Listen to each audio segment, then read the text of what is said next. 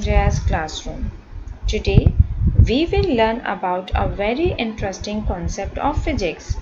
Before we start it, let's see one example.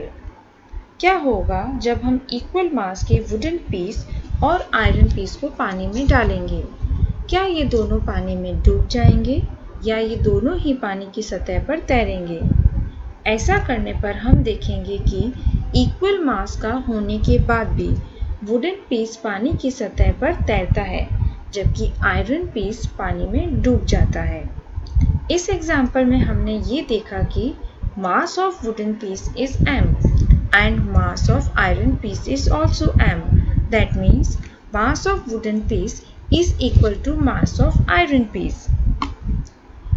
But wooden piece is floating on the surface of water and iron piece sinks inside water.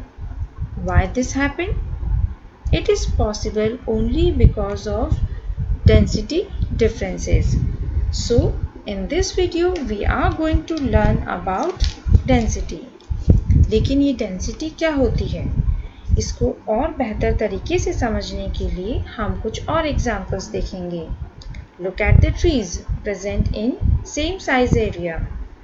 One side 9 trees are present and other side only 4 trees are present.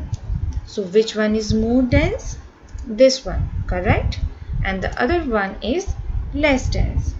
Now look at the second picture. Which one is more dense? Clearly, this one is more dense and the other one is less dense. तो इन दोनों pictures में हमने देखा और सीखा अगर same amount of space में ज़्यादा ऑब्जेक्ट है तो वो स्पेस ज़्यादा डेंसर है यहाँ दोनों ही स्पेस बराबर है, लेकिन नंबर ऑफ़ बॉल्स अलग हैं। तो जिस एरिया में नंबर ऑफ़ बॉल्स ज़्यादा है, वो एरिया ज़्यादा डेंसर है। तो डेंसिटी का मतलब होता है how compact the mass in a substance और ऑब्जेक्ट अगर हम साइंस में लैंग्वेज की बात करें तो density is how much mass is present in given volume हम इसे फॉर्मूला के फॉर्म में भी रिप्रेजेंट कर सकते हैं।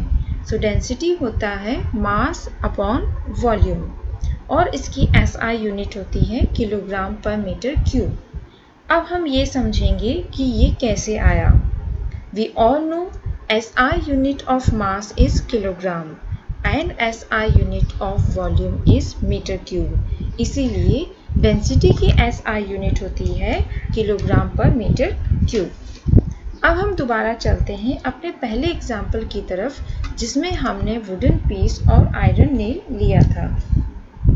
अब क्वेश्चन है कि क्यों पानी की सतह पर लकड़ी का पीस फ्लोट करता है जबकि आयरन नेल डूब जाता है? ऐसा इसलिए होता है क्योंकि वुडन पीस की डेंसिटी पानी की डेंसिटी से कम होती है, इसीलिए वो सतह पर तैरता है, जबकि आयरन पीस की डेंसिटी पानी की डेंसिटी से ज़्यादा होती है, इसीलिए वो डूब जाता है। अगर हम साइज़ में कंपेयर करें तो सेम मास का होने के बाद भी वुडन पीस बड़ा है और आयरन पीस छोटा है। लेकिन अगर हम डेंसिटीज़ को कंपेयर करते हैं तो छोटा होने के बाद भी नेल की डेंसिटी ज़्यादा होती है और इसीलिए वो डूब जाता है। तो आज हमने इस वीडियो में जो पढ़ा, उसका कंक्लूजन ये है कि अगर किसी ऑब्जेक्ट की डेंसिटी लिक्विड की डेंसिटी से कम होती है तो वो ऑब्जेक्ट उस लिक्विड पर फ्लोट करेगा। अगर किसी ऑब्जेक्ट की डेंसिटी किसी लिक्विड की डेंसिटी से ज़्यादा है तो वो ऑब्जेक्ट उस लिक्विड में सिंक कर जाएगा। I hope you have enjoyed and learn the concept of density in next video Which topic you want to learn, write in comment section. Thank you for watching. Please like, share and subscribe my video and press bell icon to get any notification of my new video.